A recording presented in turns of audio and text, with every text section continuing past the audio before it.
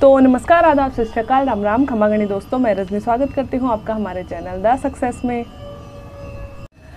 तो दोस्तों, सबसे पहले तो आज नवरात्रे हैं तो नवरात्रों की शुरुआत हो रही है तो आप सबको नवरात्रों की बहुत सारी शुभकामनाएँ। आप सभी के लिए नवरात्रे खूब सारी खुशियाँ लेके आए, माता रानी आपकी ज़िंदगी में बहुत सारी कृपा बरसाए। तो आज जैसा कि आपको थंबनेल से पता चल गया होगा, मैं हम में से ही एक बच्चे की स्टोरी सुनाने वाली हूँ। ये स्टोरी है मोहित कुमार मीना की। और मोहित जी ने मुझे मेल करके अपनी स्टोरी शेयर की थी। पहले उन्होंने मेरे को चैनल पे मैसेज किया था और उन्होंने कहा था कि, मैडम, मैं भी मेरी स्टोरी आप लोगों के साथ में शेयर करना चाहता हूँ चैनल पे शेयर करना चाहता हूँ। तो मैंने उनको बोला था कि, ठीक है, आप मुझे मेल कर दीजिए पूरी स्टोरी तो उन्होंने मुझे मेल करी थी और उनकी स्टोरी जो उन्होंने शब्द लिखे मुझे, जिस तरह से उन्होंने लिख के भेजी, कुछ मैं आपको वैसे बताऊँगी और कुछ मैं थोड़ा सा मेरा टच भी देने की कोशिश करूँगी। और साथ ही मैं उनकी कि आप लोगों को ये स्टोरी कि मैं कोई फेक स्टोरी बना के नहीं सुना रही सुना रही मतलब ये संघर्ष की कहानी सच्ची लगी। इसके लिए मैं एक दो उनसे मैंने फ़ोटो और उनकी मार्कशीट्स की फ़ोटो मंगाई थी, क्योंकि मुझे भी विश्वास होना चाहिए ना, क्योंकि मैं भी पर्सनली उनको जानती नहीं हूँ। तो मुझे भी विश्वास होना चाहिए कि बच्चा जो कह रहा है, वो सही कह रहा है। तो मैंने उनकी मार्कशीट वगैरह की फ़ोटो मंगाई थी तो मैं वो भी अटैच कर दूँगी, ठीक है? और अगर आपको ये स्टोरी इंस्पायरिंग लगती है तो please do like share and subscribe my channel और अगर आप लोगों में से भी बहुत सारे लोगों की ऐसी स्टोरियाँ हैं, जो आप लोग मेरे चैनल के थ्रू लोगों के साथ में शेयर करना चाहते हो, ताकि हम और भी जो बच्चे हैं जो चैनल से जुड़े हुए हैं, जो अभी स्ट्रगल वाले फ़ेज़ में हैं, उनको मोटिवेशन मिले उनको इंस्पिरेशन मिले अपनी परिस्थितियों से लड़ने की तो आप लोग भी शेयर कर सकते हो। मैं कोशिश करूँगी कि आपकी स्टोरी मैं और लोगों तक पहुँचाऊँ, ठीक है? तो शुरू करते हैं बिना किसी देरी के मोहित कुमार मीना जी की स्टोरी तो सबसे पहले तो इन्होंने अपना परिचय दिया है कि मैडम, मेरा नाम मोहित कुमार मीना है और मैं अलवर ज़िले के नारायणपुर तहसील का रहने वाला हूँ, क्योंकि उन्होंने मेरे को मेल किया था और मैं मोबाइल से ही वीडियो रिकॉर्ड कर रही हूँ तो मैं उनकी मतलब लाइन टू लाइन नहीं पढ़ सकती, इसलिए मैंने थोड़े से उनके पॉइंट्स लिख लिए, जो भी मेन मेन आपको बताने थे, उनकी लैंग्वेज मैंने यहाँ पर लिख ली, इसलिए मैं थोड़ी सी आपको उनकी स्टोरी देख के बताऊँगी, ठीक है? तो ये कह रहे हैं कि अलवर के नारायणपुर तहसील का रहने वाला हूँ मैं, और जब मैंने ट्वेल्थ पास की तो मेरी उम्र थी सोलह साल और मैं आ, मेरा सपना था कि मैं आर एस बनूँ और लेकिन तब मुझे पता चला कि 16 साल की उम्र में आर एस नहीं बन सकते उसके लिए ग्रेजुएशन होनी चाहिए और कम से कम इक्कीस साल की उम्र होनी चाहिए। तो मैंने मेरे गुरुजनों से सलाह ली और क्योंकि मैं पढ़ाई में थोड़ा अच्छा था तो टीचर्स ने मेरे को सलाह दी कि तुझे बीएसटीसी कर लेनी चाहिए क्योंकि बीएसटीसी करके एक बार तुम्हारे हाथ में जब जॉब आ जाएगी तो तुम आगे की तैयारी भी कर सकते हो अपने पैरों पर खड़ा होकर ठीक है? तो इन्होंने भी सोचा कि मुझे बीएसटीसी कर लेनी चाहिए। साथ ही इन्होंने कहा कि मैंने एक बार को सोचा कि अगर मैं ठीक है ट्वेल्थ पास करके ही किसी शहर में चला जाता हूँ, अच्छे शहर में। और मैं पाँच साल कोचिंग ले लेता हूँ और जब आर की वैकेंसी देने लायक होऊँगा तो तब तक मैं सारी मतलब जो मेरा सिलेबस है वह कवर कर चुका होऊँगा। लेकिन मेरे फाइनेंशियल जो कंडीशन थी वो इतने स्मूथ नहीं थी कि मैं पाँच साल मुझे शहर में रख सके और मुझे पढ़ाई करवा सके। तो ऐसा मैं सोच भी नहीं सकता था कि मेरे घर वाले मुझे पाँच साल रख सकेंगे, क्योंकि इन्होंने बोला कि फाइनेंशियल कंडीशन परिवार की इतनी ज़्यादा अच्छी नहीं थी तो मैंने बी करने का ही फैसला लिया। तो इन्होंने बीएसटीसी के लिए इन्होंने जो प्री एग्ज़ाम होती है, उसकी थोड़ी बहुत तैयारी करी और उसके बाद में उन्होंने बीएसटीसी की प्री एग्ज़ाम दी और इन्होंने कहा कि मैंने 402 नंबर जो पी में मतलब करने के लिए जो एग्ज़ाम होती है, उसमें 402 नंबर मैंने प्राप्त किए। और इन्होंने कहा कि क्योंकि वही बात है कि बहुत ज़्यादा पैसे नहीं थे हमारे पास में तो मैंने प्राइवेट कॉलेज चूज़ नहीं करी। मैंने गवर्नमेंट कॉलेज चूज़ करी और डाइट अलवर से मैंने बी करना शुरू किया ताकि मेरी फ़ीस कम से कम लगे। और फिर वही मेरे सामने वही समस्या आती थी कि मैं रहने के लिए कौन सी जगह हो मेरे पास में तो उन्होंने तो मोहित जी ने लिखा है कि मैंने बी एस वहाँ पर ही एक हॉस्टल है, गवर्नमेंट कॉलेज का ही जो हॉस्टल है, उसमें रहने के लिए मैंने मतलब फॉर्म फिल किया ताकि बहुत कम खर्चे में, मिनिमम खर्चे में मैं वहाँ पे रह सकूँ।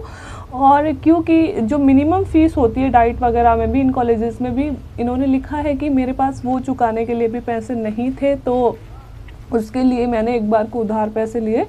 और कि जब स्कॉलरशिप आएगी तो चुका दूँगा। और इन्होंने कहा कि इस तरह से मेरी जो बी एस की पढ़ाई है, वो स्कॉलरशिप के पैसों से कंप्लीट हुई। जो बाद में मैंने जब स्कॉलरशिप आई तो मैंने हॉस्टल की फ़ीस और जो फ़ीस होती है मेरे कॉलेज की, वो दोनों मैंने चुका दी। आगे इन्होंने लिखा है कि जैसे ही मैं आ, मेरी B S T C complete B S T C की इंटर्नशिप होती है तो इंटर्नशिप के लिए मैंने मेरी गाँव के स्कूल चुनी और मैं आ, अपने गाँव आ जाता हूँ और गाँव आने के बाद में उसी दरमियान कोरोना कोविड का दौर शुरू हो जाता है और उसके बाद में मैं कभी कॉलेज तो जा ही नहीं पाया क्योंकि कोविड शुरू हो गया था। अब इन्होंने कहा कि खैर कोविड हमारा इतना बुरा नहीं निकला क्योंकि मेरी माँ है जो वो आंगनबाड़ी में आशा सहयोगिनी वर्कर हैं और पाँच छः हज़ार रुपये की उनकी सैलरी आती है तो हमें किसी के आगे हाथ नहीं फैलाना पड़ा और ठीक ठाक हमारा कोविड निकला। लेकिन इन्होंने कहा कि कोविड में मुझे वो सब अनुभव हुआ जिससे मुझे जीवन की एक बहुत बड़ी सच्चाई और मेरे को आ, समझ में आई। क्योंकि कोविड में देखो एक एक तो बात देखो कि अभी ये बच्चा सिर्फ़ 16-17 साल का है है ना? सत्रह साढ़े सत्रह साल का एक बच्चा है जो अपनी माँ की हालत को देख के और अपने घर की परिस्थितियों को देख के वो मतलब कितनी समझदारी की बातें कर रहा है। उनकी जो लाइनें थी उनको पढ़ के मुझे ऐसे लगा कि मतलब जीवन की जो परिस्थितियाँ होती है ना, वो बहुत छोटी उम्र में हमें मैच्योरिटी ला देती है। इन्होंने लिखा कि कोविड में मैंने कुछ परिस्थितियाँ घर की देखी कि मेरी माँ है जो कोविड में बाहर आशा सहयोगिनी वर्कर्स जो होती है, आपको पता है घर घर से उन्हें डेटा कलेक्ट करना, दवाइयाँ बांटना, बहुत सारे काम दिए गए थे। तो वो सब करके आती हैं और घर पर आके फिर घर का काम करती हैं, बच्चों का काम करती हैं। हम तीन भाई बहन थे, मैं और मेरे से छोटी दो बहनें थी तो तीनों बच्चों की ज़िम्मेदारी मेरी माँ पर थी।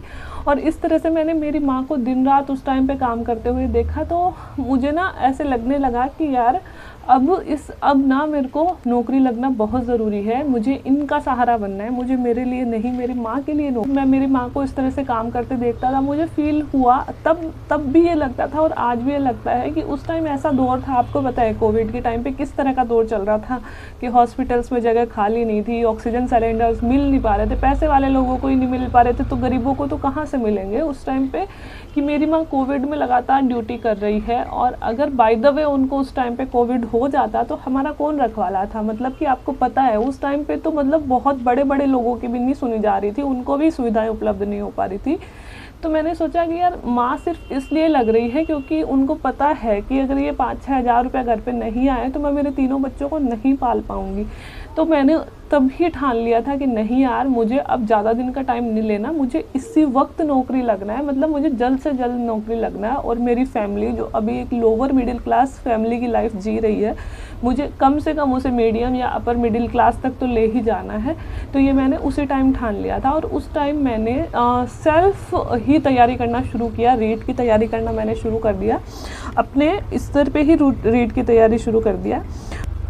इन जो मोहित जी की ये लाइनें हैं ये सुन के मुझे आज ही मैं कुछ मतलब देख रही थी। तो जाकिर खान जो एक कॉमेडियन भी हैं और बहुत अच्छा हिंदी पे बोलते भी हैं उनके दो लाइनें याद आ गई कि एक सत्रह सोलह सत्रह साल का बच्चा अपनी माँ के लिए उस दरमियान ये महसूस कर रहा है जब सोलह सत्रह साल के हम बच्चे जो ठीक ठाक परिवारों के होते हैं उनमें इतनी मैच्योरिटी आ ही नहीं पाती वो देख ही नहीं पाते दुख दर्द क्या होते हैं। लेकिन ये बच्चा इतना अच्छा फील कर रहा है इतना सही फील कर रहा है तो इसके लिए हम कह सकते हैं कि यार आ, जाकिर खान जी की दो लाइनें मैं यहाँ पे कहना चाहूँगी कि हम भूख के पले बच्चे हैं साहब, हम भूख के पले बच्चे हैं साहब, हम सब कुछ खाकर जाएँगे और अब जब हम घर से निकले हैं तो इतिहास लिख कर ही जाएँगे। जब हम में छोटी सी उम्र में इतनी मैच्योरिटी आ जाती है और इतनी अच्छी सोच जब हमें आने लगती है कि हमें फैमिली के लिए कुछ करना है तो सोच लो कि हम सही रास्ते पे जा रहे हैं। और यही इन्होंने किया। इन्होंने कहा कि लॉकडाउन में ही मैडम मैंने ना यूट्यूब से जी के वी के पढ़ना शुरू कर दिया और रीड की प्रिपरेशन शुरू कर दी और मैंने सेल्फ ही रीड की तैयारी करना शुरू कर दिया। और रीट 2021 की एग्ज़ाम मैंने बिना किसी कोचिंग के बिना किसी गाइडेंस के सिर्फ़ और सिर्फ़ अपने आ, मतलब कि अपने यूट्यूब से मैंने कुछ कुछ देखा और वहाँ से मैंने स्तर पे तैयारी शुरू करी। और आ, मैंने पेपर दिया और मेरा पेपर भी बहुत अच्छा गया। और मैंने जब की वगैरह जोड़ी तो मेरे 117 नंबर बन रहे थे और जब रेट का रिज़ल्ट आया तो कट ऑफ़ भी 117 ही गई थी। मैं बहुत खुश हुआ कि मेरा सिलेक्शन हो जाएगा। सिलेक्शन हुआ भी, पर क्योंकि मेरी उम्र उस टाइम पे बहुत कम थी और मुझे रिजेक्शन मिला मतलब मुझे नौकरी मिल के ही मिल के भी नौकरी नहीं मिल पाई। ये कहते हैं कि मुझे पहले इतना नहीं पता था कि इसमें भी एज लिमिट होती है। बाद में जब पता चला तो कि मुझे बहुत बुरा लगा और उस रात, जिस रात मेरा रिज़ल्ट आया था, उस रात में रूम बंद करके बहुत रोया और ऐसे लगा कि यार क्योंकि मेरी फैमिली मुझे वापस तैयारी करवाने में सक्षम नहीं थी। मैं चाहता था कि उनका सहारा बन जाऊँ, पर मैं नहीं बन पाया और मुझे बहुत दुख हुआ। और मुझे लगा कि यार, अब मेरे पास फिर से ना तो इतना टाइम है, ना ही इतने संसाधन हैं कि मैं फिर से एक दो साल की तैयारी करूँ और एक दो साल अपने फिर से करूँ और फिर मुझे नौकरी मिले ना ही, नहीं मिले। खैर, इन्होंने लिखा कि ठीक है, रोना धोना कुछ दिन हुआ, लेकिन माँ ने मुझे फिर से साहस दिया और माँ ने कहा कि, बेटा, अगर तू फ़र्स्ट अटैम्प्ट में इतना अच्छा कर सकता है तो तू एक साल और ले ले, हम एक साल और मुसीबतों की ज़िंदगी जी लेंगे, पर तुझे पढ़ना है है ना? और मैं फिर से लग गया मेहनत करने के, लेकिन संघर्ष के दिन इतने आसान नहीं होते। इन्होंने लिखा है कि जब मैं फिर से तैयारी करने लगा तो इस बार मेरे सामने नए चैलेंजेस सामने थे। देखो, वित्तीय संसाधनों वाली दिक्कत तो इनके सामने थी, जो इन्होंने अपने शब्दों में इतनी ज़्यादा नहीं लिखी है। लेकिन मैं समझ सकती हूँ कि उस बच्चे के जब हमारे घर में एक लिमिटेड पैसे होते हैं, सिर्फ़ इतने कि हमें दो टाइम का खाना मिल सके, लेकिन सत्रह, अठारह साल की उम्र में हमारे कितने सपने होते हैं कि हमारे आसपास के बच्चों के पास इतने अच्छे अच्छे कपड़े होते हैं, लड़कों के पास में बाइक्स होती है स्कूटियाँ होती हैं और मूवी देखना, अच्छी जगह खाना खाना, अच्छी जगह घूमना है ना? मतलब सब कुछ सपने हर एक बच्चे के होते हैं, किसके नहीं होते? लेकिन वो सारे सपने एक तरफ़ करके एक बच्चा सिर्फ़ ये सोच रहा है कि मुझे जल्दी से जल्दी मेरे परिवार का सहारा बनना है। तो आप समझ सकते हो कि आ, मतलब कि ये जो सोच होती है ना वो ही हमें दूसरों से अलग करती है और दूसरों से आगे भी ले जाती है। तो इन्होंने कहा कि इस बार मेरे सामने नए चैलेंजेस थे। इस बार रीट का जो सिलेबस है वो पूरी तरह से चेंज हो चुका था। रीट अब मेंस और प्री दो एग्ज़ाम अब लगनी थी। और जो मेंस का सिलेबस था वो तो बिल्कुल ही चेंज हो गया था और मेरे पास में फिर से मैं कहूँगा कि ना तो मेरे पास में कोचिंग के लिए पैसे थे, क्योंकि अगर मैं किसी भी शहर में जाता कोचिंग करने के लिए तो कम से कम पाँच हज़ार रुपये मिनिमम चाहिए और मेरे परिवार की, पूरे परिवार की इनकम पाँच छः हज़ार रुपये थी तो मैं सोच भी नहीं सकता था कि मैं कहीं बाहर जाऊँ। और फिर मैंने अपने ही गाँव में एक लाइब्रेरी ज्वाइन कर ली और वहाँ पे फिर से सेल्फ स्टडी में जुड़ गया। लेकिन मेरे पास में रीट प्री पास करने के लिए तो चलो पात्रता परीक्षा जो रीट की हुई, उन्होंने लिखा कि मैंने जो मेरी पहले वाली रीट की तैयारी थी, उस आधार पर ही मैंने पात्रता परीक्षा तो पास कर ली। और पात्रता परीक्षा में इन्होंने अपने नंबर भी लिखे हैं। लिखा है कि पात्रता परीक्षा में रीट लेवल फ़र्स्ट में मेरे 124 नंबर आए और रीट लेवल सेकंड में जो मेरे 107 नंबर आए और रीट मैंने जब मेरी बीएसटीसी चल रही थी तो मैंने ओपन कॉलेज से ही अपना जो बीए है वो भी कंप्लीट कर लिया था। तो मेरा बीए कंप्लीट हो गया था था कि रीट लेवल सेकंड में मेरे 107 नंबर आए और उसके बाद में आ, मैंने उसी वक्त सी टेट की एग्ज़ाम दी और सी टेट में भी रीट लेवल फ़र्स्ट में मेरे 100 बारह नंबर आए और सेकंड में मेरे 107 नंबर आए और इस तरह से इन्होंने लिखा कि मैंने पात्रता परीक्षा तो पास कर ली। अब चैलेंज था मेरे सामने मेंस एग्ज़ाम पास करने के, क्योंकि मेंस एग्ज़ाम जो थी वो सिलेबस बहुत बड़ा था मेंस एग्ज़ाम का और जो सिलेबस के लिए मेरे पास में सोर्सेज नहीं थे। तो इन्होंने लिखा कि मैं एक लाइब्रेरी जाने लगा और जीके मैं यूट्यूब से पढ़ने लगा और लाइब्रेरी में ही वहाँ पे जो और स्टूडेंट्स थे, उनसे बुक वगैरह मैं उधार ले लेता। कि भाई तुम्हारी किताबें दे दो तुम्हारी किताबें दे दो और कुछ बुक्स उनसे उधार ले लेके पढ़ने लगा। साथ ही फिर भी कुछ ऐसी चीज़ें थी जो मुझे नहीं मिल पा रही थी यूट्यूब पे। तो उसके लिए एक आ, मतलब एक लड़की थी जिनको मैं सिस्टर बोलता था उनसे मैंने बोला उन्होंने उत्कर्ष ऐप का कोर्स ले रखा था रीट वाला। तो उन्होंने उनको मैंने बोला कि यार बहन, तू मुझे रात रात के लिए अपना कोर्स दे दे मतलब पासवर्ड दे दिया कर, ताकि मैं रात को पढ़ सकूँ। सुबह मैं तुझे फिर से लौटा दूँगा। और उसने मुझे, मेरी मदद करी। और उसने मुझे अपने पासवर्ड दे दिए तो मैं रात को रीड के जितने भी मेरे नए टॉपिक्स थे, वो सब सारे वीडियोज़ डाउनलोड कर लेता और लिख लेता और दिन में उनका रिविज़न करता। और इस तरह से मैंने रीड मेंस की तैयारी करी। तो सोचो आप उस बच्चे का जज्बा। मतलब मैं तो जब पढ़ रही थी ना ये लाइनें तो ही मेरे गूज बम्स आ रहे थे कि यार सच में मतलब कि इसे कहते हैं मेहनत और इसे कहते हैं सच्चा स्ट्रगल ठीक है?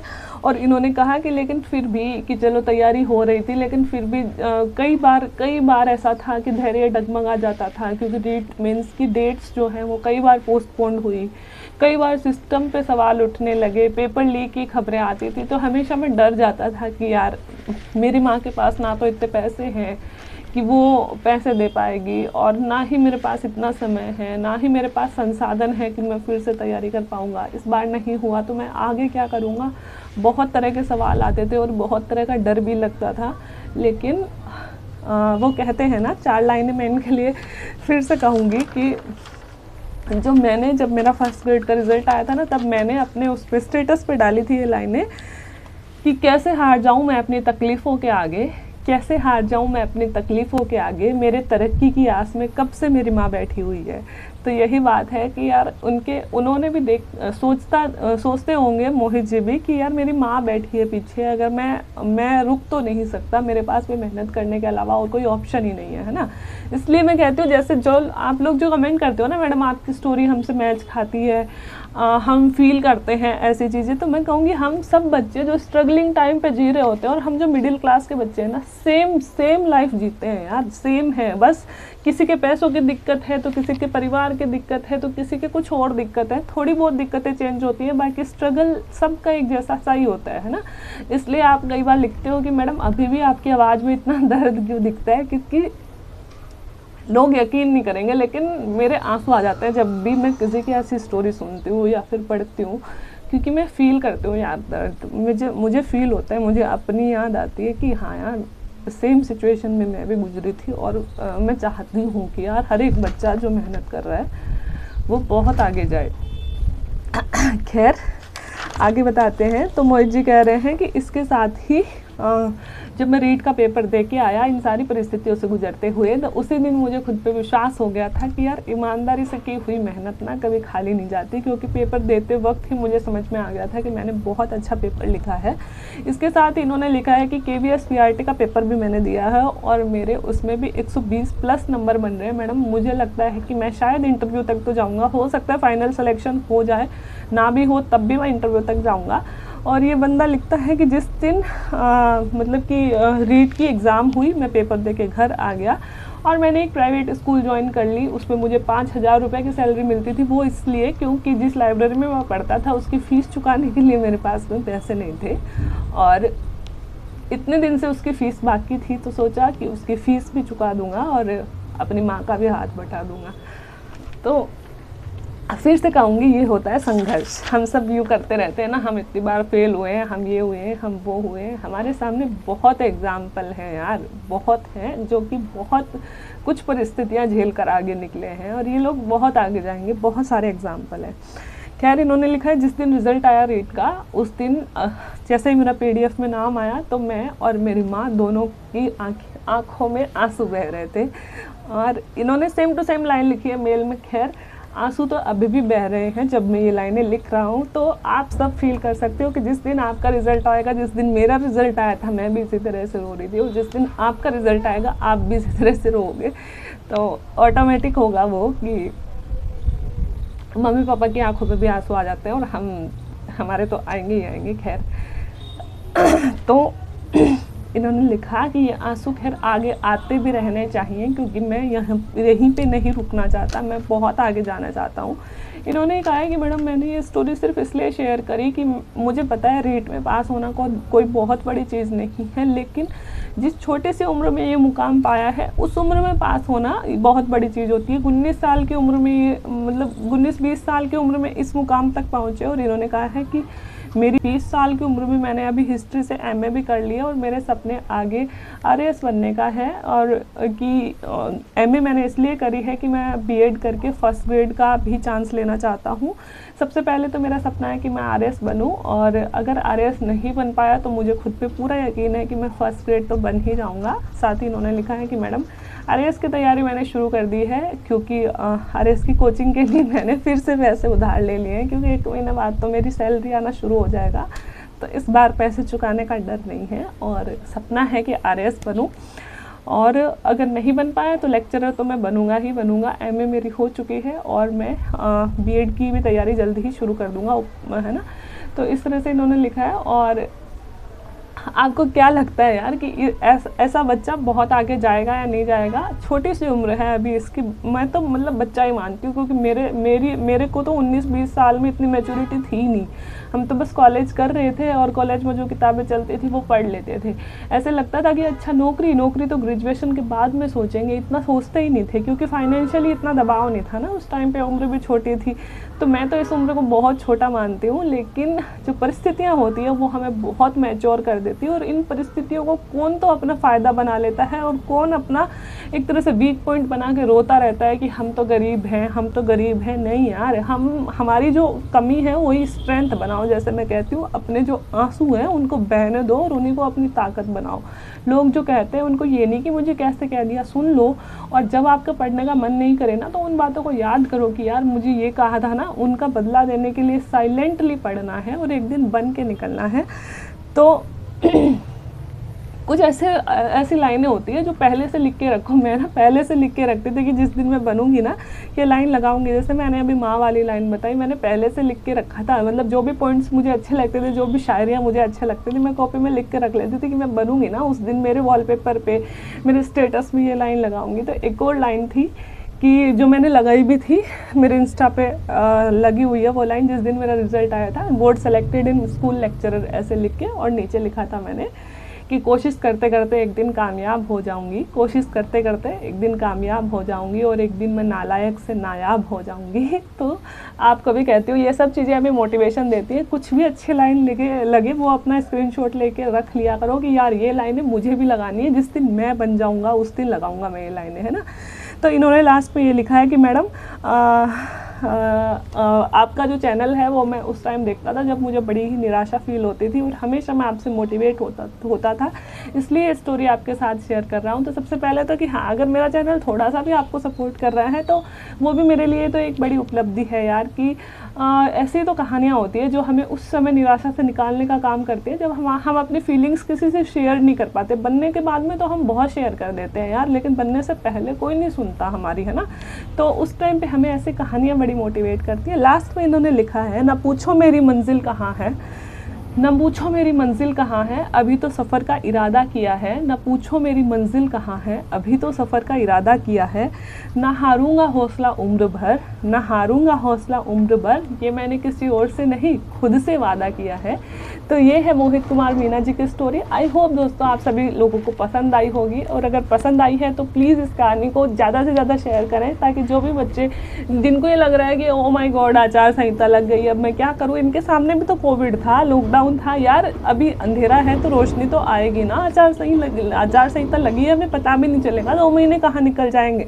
चालीस दिन की तो बात है। बहुत जल्दी वैकेंसी आएँगी तो अगर अंधेरा आता है तो ऑब्वियस सी बात है कि सवेरा उसके जस्ट अगला है। तो अगर ज़िंदगी में अभी अंधेरा चल रहा है तो उससे अगला ही सवेरा है। अगर ऐसी कहानियाँ आप लोगों को पसंद आती है और आप लोग भी अपनी सक्सेस स्टोरी मेरे साथ शेयर करना चाहते हैं तो आप यहाँ पे नीचे कमेंट कर सकते हैं। अगर मुझे थोड़ा लगेगा इंटरेस्टिंग तो मैं आप लोगों को मेरी मेल आईडी दे दूँगी। आप उस पर मेल करके मुझे बता सकते हैं। बाकी वीडियो देखने के लिए thank you so much next video आप किस टॉपिक पे चाहते हो, वो भी कमेंट करके बताएँ। और वायरल राजस्थानी टीचर के नाम से इंस्टाग्राम आई है, उसे भी जल्दी से जल्दी फॉलो कर लें। और बाकी बने रहिए चैनल के साथ वीडियो देखने के लिए। Thank you so much bye bye